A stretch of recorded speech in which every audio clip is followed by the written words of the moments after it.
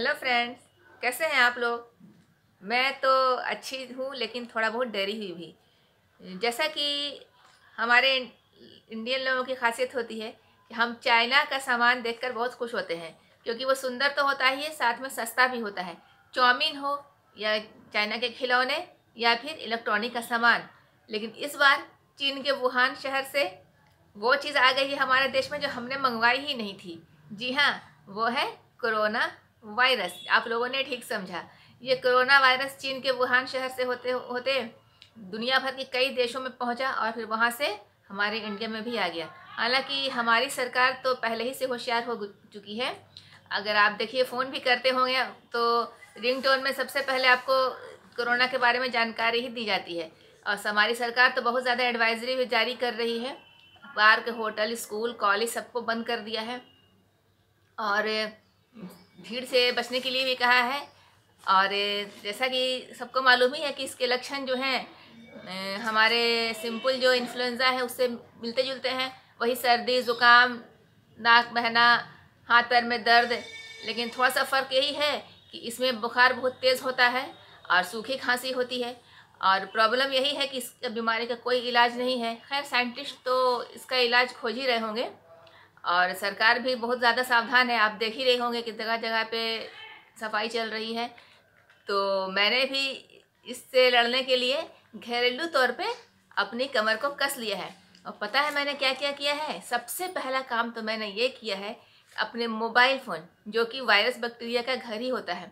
मैंने इसको डिटॉल से कपड़ा भिंगा के खूब निचोड़ दिया था कपड़े का, उससे अपने फ़ोन को अच्छी तरह से साफ़ कर लिया सबसे पहले, क्योंकि बार बार तो उसी के संपर्क में आदमी आता है। और मुँह, नाक, कान को तो छूना नहीं है तो याद रखते हैं कि मुझे मुँह, कान नहीं छूना है, ध्यान रखना, रख रही हूँ मैं। और अपने हाथों को 20 सेकंड तक अच्छे से सैनिटाइज़र तो मार्केट में मिल नहीं रहा है तो मेरे पास पहले का रखा हुआ डिटॉल हैंड वॉश था, और वैसे भी तो वज़ू करने में तो पाँच बार हाथ मुँह धुला ही जाता है, लेकिन फिर भी मैं बीस सेकंड तक खूब रगड़ रगड़ के अपने हाथों को धोती हूँ और फिर जिस तौलिए से पोछ रही हूँ हाथ को, उसको भी मैंने क्या किया है कि खूब सफ़ाई से धो करके, उबले उबले पानी में धो करके, फिर उसमें थोड़ा सा डिटॉल दे के पानी में, और उस पानी में उसको डुबकी लगा करके मैंने धूप में, कड़ी धूप में सुखाया है, ताकि कहीं भी कोई इन्फेक्शन रहे ही ना। और खाने में क्या कर रही हूँ कि सिर्फ़ दाल चावल और जो सब्ज़ी है या जो है फल है, उसको काफ़ी अच्छे से धो करके गर्म पानी से धो करके और मैं क्या करती हूँ कि थोड़ा सा विम बार से भी उसको स्क्रब से रगड़ के फल को धो देती हूँ, धो के अच्छे से रगड़ के पोस देती हूँ, फिर खाती हूँ। और पूरी कोशिश करती हूँ कि मेन बीमारी में क्या होता है, आपको शरीर में बीमारी से लड़ने की सलाहियत होनी चाहिए, यानी कि इम्यूनिटी सिस्टम आपका अच्छा होना चाहिए।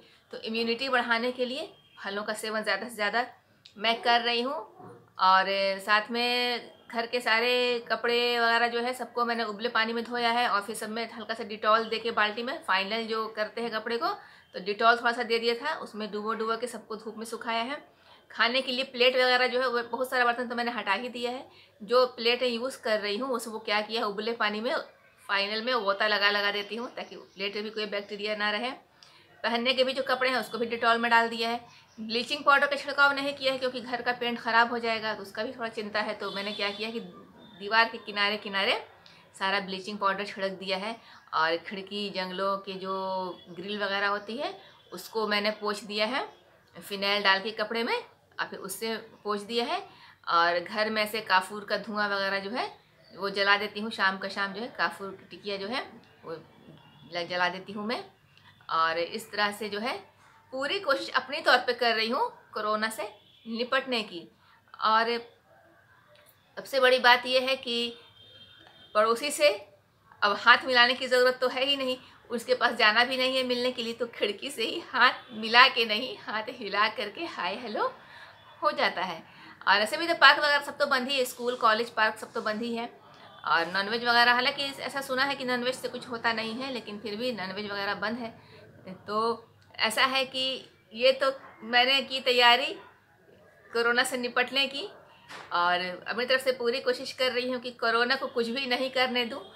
तो मेरी तरह अगर आप लोग भी सब अपने अपने घरों में सफ़ाई अभियान शुरू कीजिएगा तो पूरा देश अपने आप ही सैनिटाइज हो जाएगा और कोरोना जो है उसको कुछ भी करने का मौका नहीं मिलेगा। तो वीडियो अगर अच्छा लगे तो उसको ज़्यादा से ज़्यादा शेयर कीजिएगा। ताकि ज़्यादा से ज़्यादा लोग जागरूक हों। और अपने तौर पे भी सरकार तो ऐसे एडवाइजर जारी कर ही रही है, लेकिन अपने तौर पे कुछ ना कुछ सफ़ाई तो करनी ही होगी। तो मिलते हैं अपने अगले ब्लॉग में, तब तक के लिए बाय